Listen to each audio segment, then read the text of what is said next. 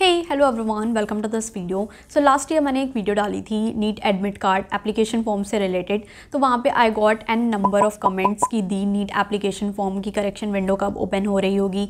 मैंने अपने फ़ोटो पे नेम एंड डेट नहीं लिखा है तो इसके लिए क्या इशू आ रहा होगा? फ़ोटो का बैकग्राउंड वाइट नहीं है ब्लू येलो पिंक है तो उसके लिए क्या इशू क्या हमें एग्ज़ाम देने दिया जाएगा? प्लस मैंने अपना फिंगरप्रिंट्स पूरे नहीं अपलोड किए हैं तो उसका करेक्शन हो सकता है क्या अभी या फिर हमारा फॉर्म रिजेक्ट कर दिया जाएगा? तो I will be answering this question in this video video so first of all let me tell you कि आपकी जो करेक्शन विंडो है, वो टेंथ ऑफ़ अप्रैल रात के दस पचास तक है। तो आप कल तक अपना करेक्शन कर लो। एंड करेक्शन कहाँ कहाँ पे कर सकते हो? डॉक्यूमेंट्स में आप कोई करेक्शन नहीं कर सकते। आपने जो भी अब डॉक्यूमेंट अपलोड कर दिया है, अपनी फ़ोटोग्राफ के पीछे कोई भी कलर का बैकग्राउंड है इट डजेंट मैटर गाइज़ तुम लोग एग्ज़ाम दे सकते हो। इसके लिए तुम्हारा कोई भी एप्लीकेशन फॉर्म रिजेक्ट नहीं हो रहा होगा, ना ही एग्ज़ाम के टाइम पर तुम्हें कोई इशू आ रहा होगा। प्लस नेम एंड डेट नहीं डाली है तो उसके लिए भी कोई इशू नहीं होगा। सीरियसली तुम्हारे क्वेश्चन इतने सिली थे कि, हमें क्या एग्ज़ाम देने दिया जाएगा या नहीं? ऑफ़ कोर्स देने दिया जाएगा। तुम्हारी एक नेम और डेट की वजह से दो साल की मेहनत से तुम्हें मना नहीं कर देंगे कि तुम नहीं एग्ज़ाम दे सकते। सो so, कोई इशू नहीं आ रहा होगा। तुमने नेम डेट डाली है तो भी ठीक है। नहीं डाली है तो भी ठीक है।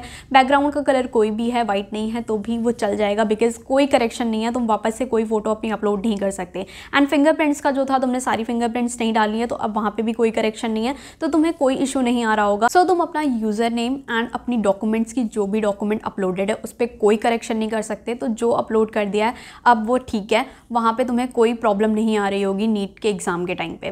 नेक्स्ट करेक्शन तुम कहाँ कहाँ पे कर सकते हो? जो टेंथ ऑफ़ अप्रैल तक की डेट है, रात दस पचास तक की। तो तुम अपना, अगर पेरेंट्स की डिटेल्स तुमने गलत डाली है पेरेंट्स की नेम के स्पेलिंग वगैरह एक बार चेक कर लेना। अगर उसमें कोई भी स्पेलिंग मिस्टेक है तो उसको करेक्ट कर सकते हो। सिंगल गर्ल चाइल्ड अगर तुमने गलत भर दिया था तो वहाँ पर जाके तुम करेक्शन कर सकते हो। प्लस तुम्हारी क्वालिफिकेशन डिटेल्स जो तुम्हारे tenth and twelfth twelfth eleventh के मार्क्स जो अपलोडेड हैं।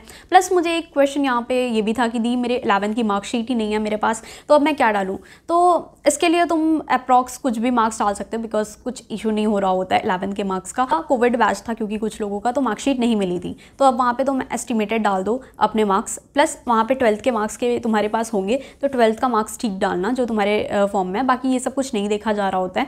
और तुम अपनी कैटेगरी जो है कैटेगरी अगर गलत सेलेक्ट कर ली थी तो उसको वहाँ पर करेक्शन कर सकते हो।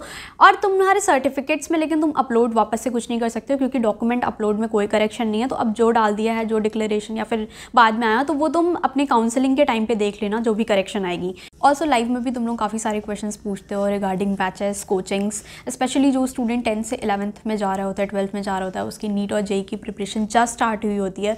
और if you are planning to take a drop और तुम एक कोचिंग देख रहे हो so you can join P W Vidyapeeth last year ही तुम्हें पता है एडमिशन्स ओपन थे बट इतना रश था कि सीट्स ही नहीं खाली थी. सो रजिस्ट्रेशन ऑलरेडी ओपन हो चुके हैं तुम्हें वहाँ पर parents dashboard student dashboard fifteen hour of doubt resolution ये सब कुछ, इतना सब कुछ मिल रहा होगा. सो रजिस्ट्रेशन ओपन है एंड बैचेस शुरू हो रहे हैं तुम्हारे थर्टीन ऑफ़ अप्रैल से तो तुम ज्वाइन कर सकते हो P W Vidyapeeth so if you want scholarship तो आप पी डब्ल्यू सैट का एग्ज़ाम देके 90 परसेंट स्कॉलरशिप अवेल कर सकते हो।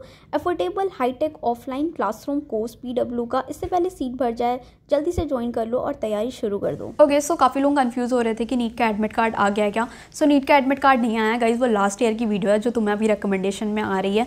नीट का एडमिट कार्ड तुम्हारे एग्ज़ाम के एक वीक पहले ही आ रहा होगा।